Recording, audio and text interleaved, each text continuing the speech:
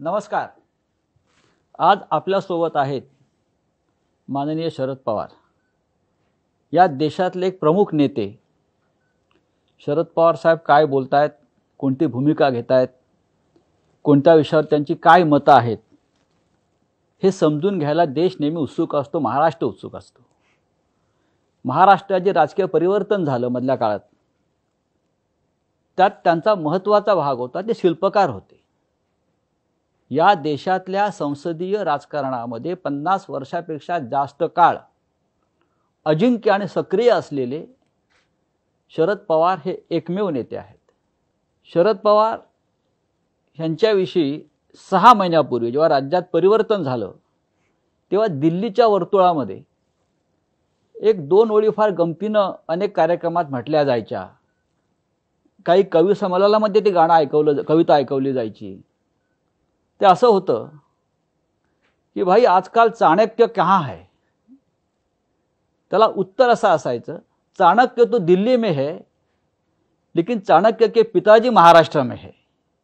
म्हणजे एक प्रकारे या राजकारणातले भीष्म पितामह म्हणून आपण माननीय शरद पवार यांच्याकडे पाहत आलेलो आहोत. आणि त्यांनी अनेकदा ज्या भूमिका घेतल्या जी मतं मांडली त्याला देशाच्या राजकारणामध्ये महत्त्व आलं. आज सामनासाठी आणि वृत्तवाहिन्यांसाठी आपण ही मुलाखत त्यांची घेतोय. शरद पवार साहेब या आपल्या स्टुडिओमध्ये आले आहेत. मी साहेब आपलं स्वागत करतो. नमस्कार. मी तुम्हाला सुरुवातीला सांगतो की सामनासाठी घेतलेली बाळासाहेब ठाकरे यांच्या नंतरची ही पहिली मुलाखत आहे जी ठाकरे परिवाराच्या बाहेरची. उद्धव ठाकरे यांच्या मुलाखती आम्ही घेतल्या. पण विशेषतः बाळासाहेब ठाकरे यांच्या सामनातल्या मुलाखती फार गाजल्या आणि आपण दुसरे आहात. जे या सामन्याच्या व्यासपीठावरती आलात म्हणून मी आपलं स्वागत करतो. सध्या आपलं काय चाललंय? सध्या खास असं काही चाललेलं नाही. एक तर देशात आणि राज्यात काय चाललं आहे याचं लक्ष ठेवणं. आणि वेगवेगळ्या क्षेत्रातल्या लोकांशी सुसंवाद ठेवणं. थोडं राजकारणाच्या बाहेरच्या सुद्धा. आणि काहीतरी चांगलं वाचायला मिळालं तर वाचन करणं. याच्या बाहेर काही फारसं चाललेलं नाही. पण असं- महत्त्वाचं कारण की आता हे जे संकट सगळ्या जगावर आलं त्या संकटाच्यामुळं एक लॉकडाऊन सगळ्या गोष्टी बंद वगैरे वगैरे जे काही निर्णय घ्यावे लागले सगळ्यांनाच त्याचा हा परिणाम आहे. समजा हा लॉकडाऊनचा काळ नसता हे संकट नसतं तर कदाचित काही वेगळं चित्र मला पाहायला माझ्या उद्योग मिळालं असतं. पण ज्या प्रकारची बंधनं या लॉकडाऊनमुळे माणसांवर आली आहेत माणूस जखडला गेलाय बेड्यांमध्ये जखडला राजकारण जखडलाय उद्योग जखडला आपण अनेक वर्ष समाजकारणात राजकारणामध्ये आहात आपण अनेकदा भविष्याचा वेध घेता. आपल्या कधी स्वप्नात तरी असं वाटलं होतं की अशा प्रकारच्या प्रसंगाला माणसाला तोंड द्यावं लागेल. कधीच वाटलं नाही. म्हणजे मी काही जुनं काही वाचण्यात माझ्या आहे. उदाहरणार्थ काँग्रेस पक्षाचा इतिहास वाचताना काँग्रेस पक्षाची स्थापना जी झाली त्याला एक इतिहास आहे. ती खरं म्हटलं तर पुण्यामध्ये व्हायची होती अठराशे पंच्याऐंशी साली. आणि तिचं अधिवेशन ठरलं पण प्लेगचा रोग मोठ्या प्रमाणाला माणसं मृत्युमुखी करायला लागली. म्हणून ते पुण्याची जागा शिफ्ट झाली मुंबईमध्ये. आणि आज ज्याला ऑगस्ट क्रांती मैदान म्हणतात किंवा गवालिया टँक तिथं ते अधिवेशन झालं. त्यावेळेचा सबंध इतिहास प्लेगच्या साथीचा हा जो लिहिला गेलेला आहे त्याच्यामध्ये असं चित्र होतं की राज्याच्या अनेक भागामध्ये प्लेगमुळं माणसं मृत्युमुखी पडत होती. सगळे व्यवहार थांबलेले होते. पण ते वाचण्यात आलेली गोष्ट आहे कारण माझा काही जन्म झालेला. नव्हता त्यावेळेला. आणि आज कधी अपेक्षा नाही कधी विचार केला नाही अशा प्रकारचं चित्र. ते महाराष्ट्रापुरतं सीमित नाही सगळ्या विश्वावर आहे. हे कधी अनुभवाची वेळ येईल असं कधी वाटलं नाही. म्हणजे क्वारंटाईनचा काळ तेव्हाही होता. हो म्हणजे विलगी विलगीकरण जे आपण म्हणतो हो मर्यादित होता. तो मर्यादित होता. मर्यादित भागात होता. पण आज माणूस माणसाला घाबरतोय हो, अगदी घराघरात. म्हणजे काही डॉक्टरांच्या सूचना आहेत की शक्यतो म्हणजे जेवढं दूर राहता येईल एकमेकाच्या पासून एवढं दूर राहण्याची तुम्ही काळजी घ्या. नाहीतर दुष्परिणाम त्याचे सहन करावे लागतील. आणि त्यामुळे अखंड माणूस चिंतेत आहे. या सगळ्या कालखंडामध्ये एकच गोष्ट मोठ्या प्रमाणात बघायला मिळते की समाजातल्या सगळ्या घटकांच्यामध्ये एक प्रकारची घबराट आहे. आता हळूहळू ती कमी व्हायला लागली पण त्या घबराटीमुळं कधी असं शक्य नाही वाटत की घराचा माणूस बाहेर पडणार नाही ते आपल्याला पाहायला मिळालं. म्हणजे मला आठवतं आहे की चीनचं युद्ध झालं किंवा पाकिस्तानचं युद्ध झालं ते एक दोन दिवस कधीतरी काही वैमानिकांच्या वतीनं काही हल्ले होणार आहेत अशा प्रकारचं चित्र दिसलं. तर त्यावेळी कर्फ्यू असायचा. लोक घरामध्ये भ- बसायचे. पण ते एक दिवसासाठी अर्ध्या दिवसासाठी एखाद्या रात्रीच्यासाठी आता इथं महिना महिना दोन दोन महिने अडीच अडीच महिने म्हणजे. लोक घराच्या बाहेर पडलेले नाहीत. हे चित्र कधी अनुभवायला मिळेल असं वाटलं नाही. आणि ते एक वेगळीच स्थिती पाहायला मिळाली. हा लॉकडाऊनचा जो सुरुवातीचा काळ होता जेव्हा लॉकडाऊन सुरू झालं तो अत्यंत कठोरपणे पाळला गेला सगळ्यांकडूनच. मग कलाकार असतील आपल्यासारखे राजकारणी असतील उद्योजक असतील. पण आपण तर सतत फिरणारे नेते आहात. आपण सतत लोकांमध्ये राहणारे नेते आहात. हा लॉकडाऊनचा सुरुवातीचा काळ आपण कसा व्यतीत केला तो अक्षरशः तो महिना दीड महिना मी माझ्या घराच्या चौकटीच्या बाहेर सुद्धा गेलो नाही. म्हणजे. प्रांगणात सुद्धा गेलो नाही. त्या चौकटीच्या आतच. आणि त्याची काही कारणं होती. एक तर असं घरातनं प्रेशर होतं. त्याच्यानंतर जे काही तज्ज्ञ आहेत त्या सगळ्यांनी सांगितलं की सत्तर ते ऐंशी हं, वयोगट आहे. हो. त्या गटाला अत्यंत काळजी घ्यायची गरज आहे किंवा हा अतिशय वनरेबल आहे. मी नेमका त्या गटात येतो. आणि त्यामुळे साहजिकच अधिक काळजी घेतली पाहिजे. हा घरच्यांचा आग्रह नाही म्हणलं तर मनावर सुद्धा दडपण. हो. त्यामुळे मी त्या चौकटीच्या बाहेर कुठं फारसं गेलो नाही. बराचसा वेळ टेलिव्हिजन वाचन याच्या बाहेर काही दुसरं करायला आम्ही तुमचा एक व्हिडिओ पाहिला जो सुप्रियाने टाकला होता की आपण व्हरांड्यात फेऱ्या मारताय हो. आणि गीत रामायण ऐकताय. ती ती संधी ग- संगीत ऐकत होता तुम्ही. संगीत अनेक म्हणजे सवन या काळामध्ये सवन भीमसे यांची सगळी मला हं, म्हणजे आता अभंगांच्यावर त्यांनी जेवढी जेवढी गीतं गायली ती दोन दोनदा तरी ऐकली असतील किंवा तीन तीनदा ऐकली असतील किंवा गीतमाला किंवा काय ते ते जुन्या काळामध्ये एक हिंदीमध्ये हे असायचं. मला. दर गीत. बु- मला. दर बुधवारी. हो. तर त्याचे आता त्याचे रेकॉर्ड आलेले आहेत. त्याही पुन्हा पुन्हा ऐकायला या निमित्तानं संधी मिळाली. संपूर्ण गीत रामायण ऐकायच्या संबंधीची संधी मिळाली. आणि पुन्हा एकदा गदी मार्गदर्शकांनी काय जबरदस्त कलाकृती या देशाच्या आणि विशेषतः महाराष्ट्राच्या मराठी वाचकांच्या समोर उभी केली ही पुन्हा एकदा लक्षात आलं. तुमचा राम मंदिराशी कधी संबंध आला नाही या आंदोलनाशी? तसंच. राम मंदिर आंदोलन. नाही पण कधी गीत रामायणाशी येतोय. माझा कधी फारसा संबंध आला गीत रामायणाशी आला. म्हणजे रामायणाशी संबंध आपला आलेला आहे. नाही. फक्त गीत रामायणाच्या माध्यमातून. होय. करोनाचं संकट तर राहणारच आहे असं साधारण जागतिक तज्ज्ञांचं मत आहे. हे जे संकट आहे करोनाचं ते एवढ्यात दूर होणार नाही. ते तसंच राहील. पण लॉकडाऊनचं संकट किती काळ राहील असं आपल्याला वाटतं? असं आहे की आता एक तर गोष्ट स्वच्छ. झालेली आहे. जगाच्या समोर. इथून पुढं प्रत्येक नागरिकांना तुम्हाला मला करोनासह जगाच्या संबंधीची आपली तयारी असली पाहिजे. त्यामुळे आता करोना हा आपल्या दैनंदिन जीवनातला एक भाग होतो आहे अशा प्रकारची भूमिका तज्ज्ञांच्याकडून मांडली गेलेली त्यामुळे लेटेस्ट ॲक्सेप्ट हं. ते आपण गृहीत धरूनच पुढे जाण्याच्या संबंधीचा आहे. प्रश्न फक्त चिंताजनक परिस्थिती निर्माण करतो तो लॉकडाऊन लॉकडाऊन म्हणजे लॉकडाऊन बरोबर सुद्धा जगावं लागेल का? तेच तुम्हाला वाटत नाही लॉकडाऊनच्या त्याच्यासह कायम जगावं लागेल? असं सांगितलं जातं तज्ज्ञांच्याकडून. कालच मी काही एक्सपर्टशी बोलत होतो. आणि त्यांनी सांगितलं की साधारणतः जुलै महिन्याच्या तिसऱ्या आठवड्यापासून तो ट्रेंड खाली जाईल. ऑगस्ट आणि सप्टेंबरमध्ये पूर्णत्वाला जाईल आणि पुन्हा नॉर्मल्स येईल. पण याचा अर्थ कायमचाच तो संपला असं काही गृहीत धरण्याचं कारण नाही. कधी दिवस येऊ शकतो. आणि त्यामुळं साधारणतः आपल्याला या सगळ्या काळात करोनाची काळजी घ्यावी लागेल. आणि इथून पुढं आपल्या सगळ्या व्यवहारात अशी परिस्थिती एकदम उफाळून झाली की तर लॉकडाऊन करण्याची वेळ येते आणि लॉकडाऊन आल्याच्यामुळे जे जे काही परिणाम झालेत अर्थव्यवस्थेत झालेत कुटुंबामध्ये झालेत एकंदर सवन व्यापारावर झालेत प्रवासावर झालेत आता हे आपण पाहिलं याच्यात. आणि आता इथनं पुढं ते येऊ नये अशी आपली प्रार्थना आहे. पण आलंच तर त्याच्या आपली सगळ्यांची तयारी असली पाहिजे.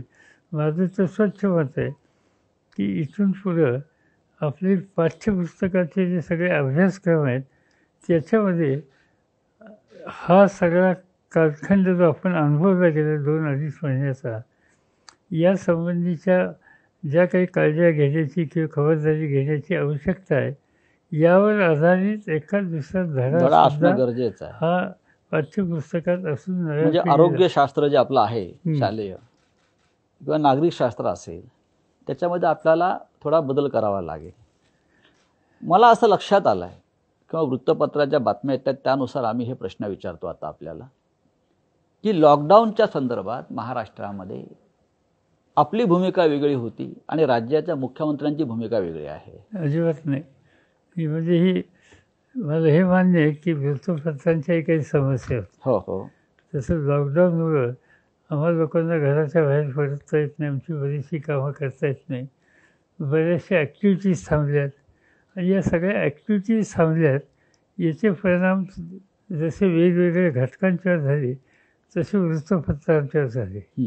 मुख्य परिणाम म्हणजे त्याचं जे वृत्त हवं असतं ते वृत्त देणारे जे उद्योग असतात कार्यक्रम असतात ते दिवस कमी झाले आणि त्यामुळे जागा भरण्याच्या संबंधीची जबाबदारी त्यांना टाळता येत नाही. आणि मग त्याच्यामध्ये याच्यामध्ये यांच्यात आणि त्यांच्यात नाराजी आहे किंवा आता काल दोन तीन दिवस मी वाचतो. की आम्हाला लोकांच्यात आम्हाला लोक म्हणजे काँग्रेस राष्ट्रवादी शिवसेना. यांच्यात. मतभेद वाढतायत म्हणजे यत्किंचितही सत्य नाही पण त्या बातम्या येत आहेत नाही लॉकडाऊन आपली अशी भूमिका आहे असं अनेकदा दिसतं की हळूहळू लॉकडाऊन उठवायला हवं की लोकांना मोकळीक दिली पाहिजे. करेक्ट असं आपलं म्हणणं आहे असं मी म्हणतो नाही त्याच्यामध्ये आमचं माझं स्वच्छ म्हणणं असं आहे की जो सुरुवातीच्या काळामध्ये कठोरपणानं लॉकडाऊन करण्याची आवश्यकता होती आणि त्याची अंमलबजावणी आजचे मुख्यमंत्री. ठाकरे यांच्या नेतृत्वाखाली महाराष्ट्रात झाली याची आवश्यकताच होती. याची आवश्यकताच होती आणि एवढी कठोर भूमिका घेतली नसती तर कदाचित आपण न्यूयॉर्कसारख्या ठिकाणचं वृत्तपत्रामध्ये वाचतो की अनेक लोकांना या संकटातून शेवटी मृत्यूला समोर जाण्याची वेळ आली. ती स्थिती इथं आली असते. आज कठोरपणानं हे राबवलं आणि लोकांनी त्याला सहकार्य दिलं त्यामुळं इथली परिस्थिती ही सुधारायला बदलत पहिले दोन महिने अडीच महिने याची आवश्यकता होती. आणि ते राज्य सरकारचा मुख्यमंत्र्यांचा दृष्टिकोन शंभर टक्के बरोबर होता. आमच्या सगळ्यांचा त्याला मनापासूनचा पाठिंबा आहे. आपण प्रश्न फक्त एकच आहे. आता असं माझ्यासारख्याला वाटायला लागलं आणि ते अनेकांशी चर्चा केल्याच्यानंतर अनेक उद्योगाच्या प्रमुखांशी चर्चा केल्यानंतर आणि स्पष्ट सांगायचं म्हणजे काही ठिकाणी उदाहरणार्थ दिल्लीत दिल्लीमध्ये रिलॅक्सेशन केलं. त्याची झळ बसली. पण व्यवहार सुरू झाले हळूहळू. कर्नाटकच्या गव्हर्नमेंटने रिलॅक्सेशन केलं. त्याच्यात काही परिणाम झाले. पण कर्नाटकातले व्यवहार सुरू झाले. या पद्धतीने कारण शेवटी सवन समाजाची देशाची राज्याची अर्थव्यवस्था ही कंप्लीट उद्ध्वस्त झाली.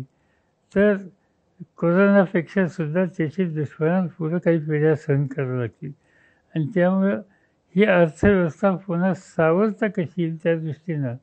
काळजी घेऊन आपण पुढं कसं जायचं याचा विचार करावा लागेल आणि तेवढ्या पुरती मोगलीक याचा अर्थ सगळं खुलं करा. असं नव्हे.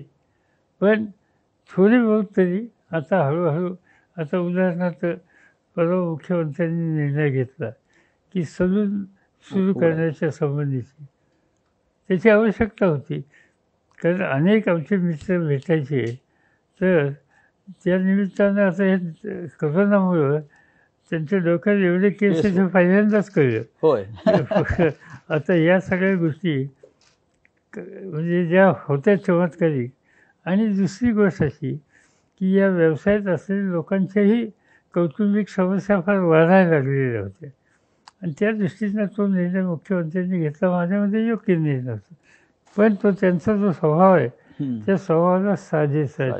आणि त्यांचा स्वभाव मी हे बघतोय तो की निर्णय घ्यायचा पण अत्यंत सावधगिरीनं. कॉशियस हळूहळू त्याची दुष्परिणाम होणार नाहीत याचा अगदी जेवढी खातरजमा करून घेता येईल तेवढा करून मग त्याच्यात पाऊल म्हणजे टाकायचं. बाळासाहेब ठाकरे आणि उद्धव ठाकरे हा फरक तुम्ही हा करता हे बाळासाहेब ठाकरे तडकाफडकी निर्णय घेऊन निर्णयाला सामोरं जात होते. पण बाळासाहेब ठाकरे हे सत्तेवर नव्हते प्रत्यक्ष. आणि हे प्रत्यक्ष मुख्यमंत्री पदाच्या खुर्चीवर आहेत म्हणून हा फरकच आहे फरक आहे. हो, बाळासाहेब म्हणजे त्यांनी काही म्हणजे ते सत्तेच्या पाठीमागचे एक महत्त्वाचं घटक होते. त्यांच्या विचारांनी सत्ता महाराष्ट्रात चालली महाराष्ट्राने देशाने बघितली. आज विचारांनी चालली नाही सत्ता प्रत्यक्ष कृतीत आणण्याच्या संबंधीची जबाबदारी आजच्या मुख्यमंत्र्यांची आहे. आणि त्यामुळे हा फरक आहे. या सगळ्या परिस्थितीत तुम्हाला कधी बाळासाहेब ठाकरेंची आठवण येते का? बाळासाहेबची म्हणजे आठवण एकच होते की आता विशेषतः हे जे पहिले दोन महिने हा. स्वस्त घरामध्ये बसून हो. आता बाळासाहेबांचं सुद्धा कामाची पद्धत माझ्यापेक्षा तुम्हाला जास्त माहिती. आणि त्यामुळे ते काही दिवसभर घराच्या बाहेर पडून कायम गेलेले असायचे असं नाही. अनेक वेळेला त्यांनी दिवस दिवस घरात घालवले पण ते घालवत असताना सुद्धा त्या परिस्थितीला सहकार्यांना बरोबर ठेवून त्यांना प्रोत्साहित करून कसं तोंड द्यायचं हे बाळासाहेबांनी नक्कीच शिकवलेलं होतं असं मला वाटतं. आणि म्हणून माझ्यासारख्याला त्या दोन महिन्यामध्ये. बाळासाहेबांची आठवण याच्यासाठी व्हायची की आपण घराच्या तर बाहेर पडायचं नाही. हा. पण बाकीची हळूहळू ज्या गोष्टीच्या दिशेनं आपल्याला जायचं आहे. त्या दिशेनं जाण्याच्या. प्रवासाची आपण तयारी केली पाहिजे. ते बाळासाहेब करायचे आणि त्याची आठवण या काळात आधी घ्यावी करोनामुळे संपूर्ण जग बदललेलं आहे संपूर्ण जग बदललं आहे आणि त्या बदललेल्या जगाचा परिणाम हिंदुस्थानावर सुद्धा होतोय देशावरती होतोय म्हणजे जगभरातून जो नोकरदार वर्ग आपला होता तो परत आपल्या देशामध्ये परत आला. अमेरिकेसार मगाशी आपण न्यूयॉर्कचा उल्लेख केला. तिथून सुद्धा हजारो लोक परत इथे आलेले आहेत. या बदललेल्या जगाकडे आपण को कसं पाहाल माझ्या मते एक अपॉर्च्युनिटी म्हणून या परिस्थितीकडे बघितलं पाहिजे. हां. आहे संकट आहे. आणि पहिल्यांदा आपण हे बघितलं की जगाच्या कानाकोपऱ्यामध्ये भारतीय कुठं कुठं हम्म. आणि विशेषतः मला मुंबईमध्ये बसून पहिल्या दोन महिन्यात एक काम फार करावं लागलं. आणि ते काम असं की देशाच्या बाहेर अनेक देशातून टेलिफोन यायचे की आमच्याकडे इतके इतके लोक आहेत आणि त्यांना यायचं आहे. ते येण्याच्यासाठी विमानाच्या व्यवस्थेत सहकार्य करा. आल्याच्यानंतर उतरून रेल्वे आणण्याच्या संबंधीची व्यवस्था करा. आणि त्यावेळी लक्षात यायचं आता मला धक्का बसला की फिलिपिन्समधून चारशे मुलं मेडिकल एज्युकेशन घेणारी परत आणण्याची व्यवस्था आम्हाला करावी लागली. ताशकंदवरनं तीन साडेतीनशे विद्यार्थी हे आणण्याच्या संबंधीची व्यवस्था करायला लागली. रशिया. Russia Turkmenistan. हा म्हणजे ही जे हे जे. देश आहेत. या देशात एवढ्या मोठ्या संख्येनं आपले विद्यार्थी. तरुण पिढी आहेत हे माहीतच नव्हतं. आणि हे अनेक ठिकाणी म्हणजे अमेरिकेत आणि इंग्लंडमध्ये आपण ऐकायचो. पण जगाच्या कानाकोपऱ्यामध्ये भारतीय आणि मराठी हा. ही दोन्ही बघण्याच्या बघायला या सगळ्या कोरोनामुळे खऱ्या अर्थानं संधी मिळाली. या सगळ्या प्रकरणामध्ये या देशाचं आणि विशेषतः राज्याचं राजकारणच बदलून गेलं आहे आतापर्यंत मोठे नेते आपल्यासारखे हे जाहीरपणे सभा घ्यायचे. हजारो लाखोंच्या सभांना संबोधित करायचे. मग प्रधानमंत्री मोदी असतील आपण असाल इतर नेते असतील आता हे संपूर्ण हे बंद होणार. हे राजकारणालाच लॉकडाऊन झालं एक प्रकारे. तुम्ही ह्याकडे ह्या राजकारणाकडे काय तुम्ही पाहाल? कारण मुळात आपला आत्मा जो आहे भारतीय राजकारणाचा हे गर्दी आहे. गर्दी नसेल तर आपलं राजकारण इंचभरी पुढे जाणार नाही. आपला संदेश पुढे जाणार नाही. आणि लाखांची गर्दी जो नेता जमवतो तो मोठा नेता हे आतापर्यंत आपल्या देशातलं चित्र होतं. पण आज त्या गर्दीला त्या राजकारणाला त्याचंसुद्धा लॉकडाऊन झालं आहे तुम्ही ह्याकडे कसं पाहता? पुढल्या राजकारणाकडे अशा प्रकारच्या? मी एकदम ही स्थिती बदलेल असं मला वाटत नाही. हा. ती हळूहळू पूर्व परिस्थिती जाईल. पण आपल्याला ही एक गोष्ट दुर्लक्षित करता येणार नाही. आपण बघतो की अमेरिकेमध्ये राष्ट्रपतीची निवडणूक असली हा. तर त्या निवडणुकीमध्ये आपण भारतामध्ये ज्या पद्धतीने आता वारसांची लाखोची सभा व्हायची किंवा अटलजींची लाखोची सभा व्हायची किंवा इंदिरा गांधींची व्हायची यशवंतराव चव्हाणांची व्हायची ते चित्र अमेरिकेत किंवा वेस्टर्न वर्ल्डमध्ये कुठं. बघायला मिळत नाही पण टेलिव्हिजन आणि रेडिओच्या माध्यमातून सबंध देशाचं लक्ष त्या दिवशीच्या चर्चेमध्ये समजा राष्ट्रपतीचा उमेदवार कोणी असेल त्याची आणि जो समर्थक दुसरा उमेदवार ह्या प्रतिस्पर्ध्यांच्याबद्दलची जे एक डिस्कशन चर्चा प्रश्नोत्तर असतात सबंध देश पाहतो. पण ते पाहण्याचं. आणि ते व्यक्त करण्याचं माध्यम वेगळं आहे आपलं माध्यम समोर मा इथं कसं आहे इथल्या राजकीय नेत्यांना माझ्यासमोर तो वक्ता असल्याशिवाय माझ्या बोलण्याला धार येत नाही. आणि मी बोलतोय ते त्याला किती पटतंय डायजेस्ट होतं हे त्याच्या चेहऱ्यावर जिवंतपणा समोर आणि समजा तो स्तब्ध राहिलास त्याचा अजिबातच प्रतिसाद नसला तर त्याचा परिणाम वक्त्याच्यावर होत असतो. आणि ह्या सगळ्यातून आपण गेलो आहे पण आता हळूहळू या सगळ्या जुन्या पद्धती आपल्याला म्हणजे मी शंभर टक्के संपतील असं म्हणत नाही. पण त्या हळूहळू कमी होणार आहेत. मॉडर्न टेक्नॉलॉजी कम्युनिकेशनची ही आपल्याला आत्मसात करण्याचा विचार करावा लागेल. पण ग्रामीण भागात हे कसं काय रुजणार? असं आहे की आपण विधानसभा निवडणुकीमध्ये ज्या प्रकारचं वातावरण आपण स्वतः निर्माण केलं ज्याच्यामुळे परिवर्तन पुढे होऊ शकलं विशेषतः तुमची सातारची भर पावसातली सभा ही या नवीन यंत्रणेमध्ये कशी होणार अशा प्रकारच्या सभा की जे लोकांना एक मनापासून असं वाटतं की माझ्या नेत्याला पाहावं माझ्या नेत्याचं समोरून ऐकावं हे थांबलं असं वाटत नाही का यापुढे? नक्कीच ते थांबेल. आणि खरं सांगायचं म्हणजे माझ्यासारख्याला माझ्या पिढीच्या माणसाला. ते थांबलेल्यात मजाच नाही आहे हा. जे निवडणुकीच्या सभेत सुद्धा मजा नाही अशी स्थिती येईल का काय अशी चिंता आहे. पण हे फार दिवस चालेल असं वाटत नाही चालू नये अशी प्रार्थना आहे सध्या एक वर्षापूर्वी या देशामध्ये लोकसभेच्या निवडणुका झाल्या. आणि साधारण देशाची परिस्थिती आणि राजकारण हे जैसे थे राहिलं. म्हणजे जी व्यवस्था होती ती व्यवस्था कायम राहिली. प्रधानमंत्री मोदी आहेत त्यांचं सरकार कायम राहिलं. पण काही राज्यामध्ये बदल झाले. विशेषतः आपण महाराष्ट्राचा विचार जर केला तर महाराष्ट्राचं राजकारण हे सहा महिन्यापूर्वी पूर्ण बदलून गेलं. आणि अशा प्रकारे बदललं की संपूर्ण देश या महाराष्ट्राच्या घडामोडीकडे एक भविष्यातला एक वेगळा विचार म्हणून पाहू लागलं की महाराष्ट्रातही घडलाय. देशामध्ये भविष्यात असं घडू शकेल. लोकांच्या मनामध्ये प्रश्न कायम असा राहिला की हा जो बदल आहे महाराष्ट्रातला हा एक अपघात होता त्यावेळेला झालेला की हा बदल ठरवून सगळ्यांनी केला? मला अपघात वाटत नाही. हा. दोन गोष्टी आहेत. हा. महाराष्ट्रातली लोकसभेची निवडणूक हा. देशातल्या लोकसभेच्या निवडणुकीत काही फारसा अंतर नव्हतं. हो.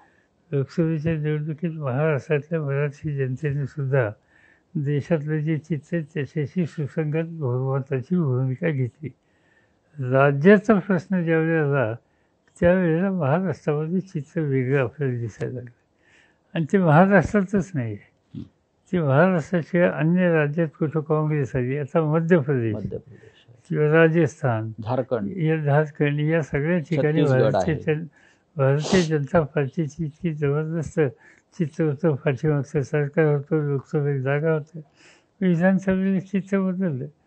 महाराष्ट्रात माझ्या मते चित्र बदलायच्या संबंधीचा मूळ लोकांचा होता. महाराष्ट्रामध्ये जे आपण गेले पाच वर्ष उद्धव ठाकरे मुख्यमंत्री होण्याच्या पूर्वीचे त्या सवन कालखंडामध्ये सेना आणि बी जे पीचं सरकार होतं. पण सेनेच्या विचाराचा जो मतदार आहे आणि सेनेचा जो कार्यकर्ता आहे. त्या सगळ्यांच्यामध्ये.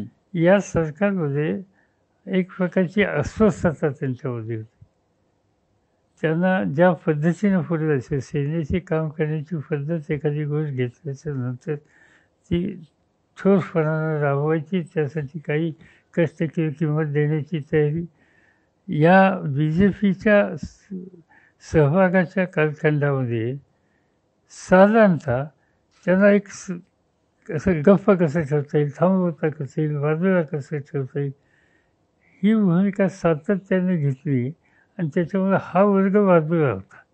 अस्वस्थ होता. आणि दुसरी गोष्ट महाराष्ट्रातल्या जनतेला ती जी पाच वर्षे पाहिली त्यांनी ती खऱ्या अर्थानं बी जे पीचं सरकार असल्याचीच होती. याच्या आधी मनोज जोशी आणि बी जे पीचं सरकार होतं. त्या काळात असं कधी नव्हतं. आणि त्याचं महत्त्वाचं कारण त्याचं नेतृत्व शिवसेनेकडे होतं. हो. आणि बाळासाहेब होते. एक पाठीमागं होते. भक्कम अशा प्रकारची. भूमिका होती. आत्ताच्या या पहिल्या पाच वर्षामध्ये त्यांनी सेनेला जवळपास बाजूला केलं आणि भाजप म्हणजे हेच खरे राज्यकर्ते आणि इथून पुढच्या कालखंडात हे राज्य भारतीय जनता पार्टीच्या नेतृत्वाच्या विचारानंच चालणार. ही भूमिका भक्कमपणाने घेऊन त्यांनी पावले टाकली. ही महाराष्ट्रातल्या जनतेला पचत नव्हती. म्हणजे ही एकांगी भूमिका जी होती हां. की आम्हीच राजकारण करणार दुसरं कोणी करणार नाही या करू महाराष्ट्रात शकत नाही. करू शकत नाही. या संदर्भातलं लोकांच्या मनातलं बंड उफाळून मतपेटीतून आलं असं आपण म्हणताय. सर सर आणि त्याचं कसं आहे म्हणजे पुढं तो थोडासा चेष्टेचा विषय झाला. हा. की मी येणार मी येणार वगैरे वगैरे ह्या ह्या ज्या मी पुन्हा येईन. हां, मी पुन्हा. येईन. तर मी पुन्हा येईन. या सगळ्यामुळं हो. एक लोकांना एक तास आहे की कुठल्याही राज्यकर्त्यांनी राजकीय नेत्यांनी मीच येणार ही भूमिका घेऊन जनतेला ग्रहित धरायचं नसतं कधी देवेंद्र फड हा.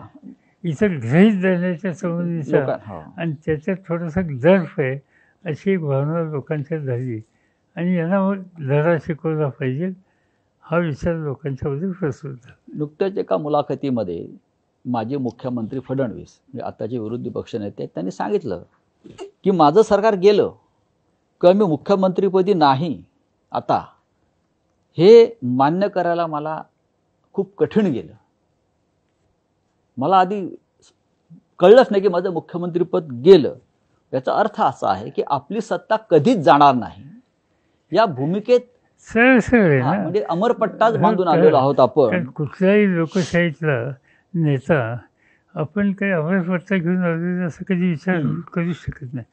म्हणजे आणि या देशातल्या मतदाराला गृहीत धरलं तर तो कधी सहन करत नाही. म्हणजे श्रीमती गांधींच्या सारखी प्रचंड जनमानसामध्ये एक प्रचंड पाठिंबा असणाऱ्या व्यक्तिमत्वाला सुद्धा पराभव पाहायला मिळाला देशातल्या अटल बिहारी वाजपेयींच्या हो. सारख्या नेत्याला सुद्धा पराभव पाहायला मिळाला. याचा अर्थ स्वच्छ आहे की या देशातला सामान्य माणूस लोकशाहीच्या अधिकाराच्या संदर्भात आम्हा राजकारणातल्या लोकांच्यापेक्षा अधिक शहाणा आहे. आणि आम्ही आमचं पाऊल त्या चाकोरीच्या बाहेर टाकतो असं दिसलं तर तो आम्हालाही धडा शिकवतो. आणि त्यामुळे आम्ही ही भूमिका घेऊन बसलो की आम्हीच आणि आम्हीच येणार. एकशे पाच आमदारांचं बळ असताना सुद्धा एक प्रमुख पक्ष सत्ता बनवू शकला नाही सत्तेवरती येऊ शकला नाही. ही सुद्धा एक अजब कला. किंवा एक चमत्कार होता महाराष्ट्रामध्ये की एक मजबूत विरोधी पक्ष म्हणा किंवा तेव्हा प्रमुख पक्ष एकशे पाच. ह्याला तुम्ही काय म्हणाल? लोकशाहीमध्ये लोकशाहीमध्ये प्रमुख पक्ष सरकार बनवू शकला नाही. असं आहे की ते प्रमुख पक्ष प्रमुख कसा बनला याची एक खोलत जायला पाहिजे. हा. माझं स्वच्छ होतं की एकशे पाच ही जी फिगर झाली हा. त्या फिगरमध्ये शिवसेनेचं योगदान फार मोठं होतं. त्याच्यातून तुम्ही शिवसेना मायनस केली असेल त्याच्यात असोसिएट नसती तर तो एकशे पाचचा आकडा तुम्हाला कुठे चाळीस पन्नासच्या आसपास असला असता की जो ट्रॅडिशनली आपण गेले काही वर्ष बघतो. आणि त्यामुळे एकशे पाच एकशे पाच आणि एकशे पाच जे सांगतात काही भाजपचे नेते की आम्ही एकशे पाच असतानासुद्धा आम्हाला आमच्या सहकार्याने दुर्लक्षित केलं किंवा काय. त्यांना एकशे पाचवर पोचवण्याचं काम ज्यांनी केलं. त्यांना जर घरी राहण्याच्या संबंधीची भूमिका घेतली तर मला काही वाटत नाही काही इथं वेगळं करण्याची आवश्यकता हो पण आता त्यांना जे जमलं नाही ते शरद पवार यांनी जमून दाखवलं आणि शिवसेनेला मुख्यमंत्री पदावर पोचवलं. असं असं म्हणजे पूर्ण खरं नाही. म्हणजे मला जे बाळासाहेब ठाकरे माहिती आहेत. माझ्यापेक्षा केवळ तुम्हाला लोकांना अधिक माहिती आहे. पण बाळासाहेबांचा संबंध विचारधारा कामाची पद्धत ही भारतीय जनता पार्टीच्या. विचाराशी सुसंगत होती असं मला कधीच वाटलं नाही. असं का वाटत नाही आपल्याला? कधीच वाटलं नाही. त्याचं कारण असं की बाळासाहेबांची भूमिका आणि भाजपची किंवा या सगळ्या लोकांची कामाच्या भूमिका याच्यात जमीन असण्याचा फरक आहे. बाळासाहेबांनी सन्मान केला तो काही व्यक्तींचा केला. त्यांनी अटल बिहारी वाजपेयींचा केला त्यांनी अडवाणींचा केला त्यांनी आमचा हा प्रमोद. प्रमोद महाजन त्यांचा केला. आणि या सगळ्यांना त्यांनी सन्मानानं वागणूक घेऊन त्याच्यातून एकत्र येण्याचा विचार आल्या पुढं ते राज्य वगैरे प्रस्थापित करायला हातभार लावला. आणि दुसरी गोष्ट अशी होती की काँग्रेसशी त्यांचा संघर्ष होता. पण तो काही कायमचा संघर्ष होता असं मला वाटत नाही. किंवा सेना ही काँग्रेसच्या कायमचीच विरोधी असं नाही कदाचित बाळासाहेब ठाकरे आणि शिवसेना या देशातली एकमेव संघटना अशी असेल की एखाद्या राष्ट्रीय प्रश्नावरून सत्ताधारी पक्षातल्या प्रमुख लोकांना स्वतःच्या पक्षाच्या भवितव्याची काही स्थिती याच्या यत्किंचित तमा न बाळगता पाठिंबा द्यायचा हे फक्त शिवसेनेच्या. नेत्यांनीच केलं. म्हणजे ज्या वेळेला इंदिरा गांधींच्या विरुद्ध देश होता त्यावेळेला एक शिस्त आणण्याचा प्रयत्न करणारच नेतृत्व म्हणून त्याच्याबरोबर बाळासाहेब उभे राहिले. आणि नुसतेच उभे राहिले नाही तर आम्हा लोकांना धक्काच बसला त्यावेळेला. तेव्हा बाळासाहेबांनी भूमिका घेतली की निवडणुकीला महाराष्ट्राच्या मी उमेदवारसुद्धा उभा करणार नाही. राजकीय पक्ष चालवणाऱ्याला मी उमेदवार उभा करणार नाही असं म्हणून त्या संघटनेचं नेतृत्व टिकवणं ही काही साधी गोष्ट नाही. पण ते बाळासाहेब ठाकरेच करू पण त्यांनी केली. आणि त्याचं कारण त्यांचा काँग्रेसच्या संबंधीचा त्यांच्या मनात तसा विद्वेष नव्हता. काही धोरणाच्या संबंधीची स्पष्ट मतं होती. आणि त्यामुळं आपल्याला त्या काळातली ही स्थिती बघायला मिळाली. आणि आज कमी जास्त प्रमाणात त्याच रस्त्याने उद्धव ठाकरे चालले असं मला पण दिसतं तुमचं सुद्धा कधी शिवसेनेशी वैचारिक नातं म्हणून तसं म्हणता येणार नाही. पण आज आपण एकत्र आहात महाराष्ट्राच्या या जडणघडणीमध्ये आणि एकत्र सरकार बनवण्यामध्ये. नाही वैचारिक आपण व्यासपीठावरती आलेला आहात शिवसेनेच्या. नाही वैचारिक मतभेद फारसे होते असं म्हणजे काही गोष्टी असतील. पण सुसंवाद नव्हता असं नाही. सुसंवाद इनफॅक्ट बाळासाहेबांशी सुसंवाद आम्हा लोकांचा आत्ताच्या नेतृत्वापेक्षा सुद्धा अधिक होता. भेटी गाठी चर्चा एकमेकाच्याकडे जाणं या सगळ्या गोष्टीच्या संबंधीचं. आणि अनेक वेळेला म्हणजे मी जाहीरपणाने सुद्धा बोललो आहे की हा बाळासाहेबांनी एखाद्या व्यक्ती किंवा कुटुंबाच्या संबंधी किंवा पक्षाच्या संबंधी वैयक्तिक सुसंवाद ठेवला किंवा वैयक्तिक ऋणानुबंध ठेवला तर त्यांनी कधी काळजी केली नाही फिकीर बाळगली नाही. ते ओपनली ओपनली करत होते. तुम्ही हा. म्हणून मी माझ्याच घरातलं उदाहरण हो, जाहीरपणाने हो. सांगितलं हो. की सुप्रियाच्या सुप्रिया. विरुद्ध तिला बिंदूच निवडून दिलं बाळासाहेबांनी हे बाळासाहेबच करू शकतात. तुम्ही महाविकास आघाडीचा जो महाराष्ट्रामध्ये प्रयोग केला ते एकत्र येऊन केला तुम्ही त्याचं नेतृत्व केलं त्याला सहा महिने होऊन गेले. हा प्रयोग यशस्वी होतोय असं आपल्याला वाटतं का? नक्की होतोय. इनफॅक्ट हा प्रयोग आणखीन यशस्वी होतोय आणि ह्या प्रयोगाचं फळं. महाराष्ट्रातल्या जनतेला महाराष्ट्राच्या वेगवेगळ्या विभागाला मिळतात अशी स्थिती आपल्याला बघायला मिळाली असती. पण दुर्दैव आहे महाराष्ट्राचं हा करोनाचं संकट आलं. आणि गेले काही महिने राज्य प्रमुख आणि राज्यकर्ते आणि राज्याची संपूर्ण यंत्रणा फक्त एकाच कामात गुंतलेली आहे आणि बाकीचे सगळे प्रश्न वाजून जाईल. आणि दुसरी गोष्ट मी तुम्हाला सांगतो की हा आत्ताचा सेटअप जर नसता. तर या करोनाच्या संकटाला सुद्धा इतक्या प्रभावीपणाने तोंड देता आलं नसतं. तुम्ही लक्षात घ्या करोनासारखं एवढं मोठं संकट तीन विचाराचे तीन पक्ष. पण सगळेजण एका विचाराने मुख्यमंत्र्यांच्या धोरणाच्या पाठीशी आहेत. आणि या परिस्थितीला तोंड देत आहेत. आणि लोकांच्या पाठीशी मजबूतीने उभं राहत आहेत हे घडू शकलं. म्हणजे आपण समाधानी आहात. याचा अर्थ हे म्हणजे माझी खात्री आहे की असं घडलं नसतं. हे एक विचारानं काम करण्याचं. आणि त्यामुळं यत्किंची ती नाराजी म्हणजे नाही कोणत्याही प्रकारचं राजकारण याच्यामध्ये आणलेलं नाहीये. अजिबात किंवा पक्षीय ज्याला आपण एक राजकारण म्हणतो श्रेय घेण्याचं किंवा जे पूर्वी चालत होतं ते याच्यामध्ये नाही आहे पुलोद हा एक प्रयोग तुम्ही सगळ्यात पहिला या देशामध्ये केला. अनेक पक्ष एकत्र आणून तुम्ही महाराष्ट्रामध्ये एक राज्य निर्माण केलं त्यावेळेला. देशातला हा त्यावेळेचा फार एक फार महत्त्वाचा आणि पहिला असा तो एक प्रयोग होता. पुलोदचं सरकार आणि आताचं महाविकास आघाडीचं सरकार याच्यात तुम्ही साधारण काय फरक कसं आहे की पूर्वीचं सरकारचं नेतृत्व माझ्याकडेच होतं. हा. सो त्या सरकारच्या मध्ये हम्म. सगळे आजचे जे भाजप आहेत त्यावेळेचा तेही त्याच्यामध्ये हो होते हो आणि मंत्रिमंडळ हे एका विचारानं काम करणार होतं. त्याच्यामध्ये कुठल्याही प्रकारची अडचण नव्हती. आणि दुसरी गोष्ट अशी की केंद्र सरकारची मोठ्या प्रमाणावर त्याला साथ होती. पूर्वचं सरकार बनलं त्यावेळेला देशाचं नेतृत्व हे मोरारजीभाई देसाईंच्याकडे होतं. आणि मोरारजीभाई देसाईंच्या नेतृत्वाखालचं सरकार महाराष्ट्रातल्या पूर्वच्या सरकारला पूर्ण ताकदीनं. मदत करत होतं. आज फरक थोडासा कसा आहे की या ठिकाणी एका विचारानं काम करणारे लोक आलेत. आयडिओलॉजी वेगळी असेल पण दिशा कोणती आहे? याच्यात स्पष्टता आहे. त्या दिशेनं जाण्याचा आपला प्रवास नीट राहील आणि तो लोकांच्या हिताचा असेल याची काळजी घेण्याची भूमिका आज राज्यात एका विचाराने. पण उलटच्या वेळेला जो केंद्राचा पाठिंबा मजबूत होता. आज तो या ठिकाणी आहे असं मला दिसत नाही. या सरकारचे तुम्ही हेडमास्टर आहात की रिमोट कंट्रोल आहात? दोन्ही नाही. हेडमास्टर असायचं काही कारणच नाही. हेडमास्टर असेल तो त्याचाच असला पाहिजे. आणि रिमोट कंट्रोल हे सरकार किंवा प्रशासन हे रिमोटने कधी चालत नाही लोकशाहीमध्ये. रिमोटने गव्हर्नमेंट चालतं कुठं?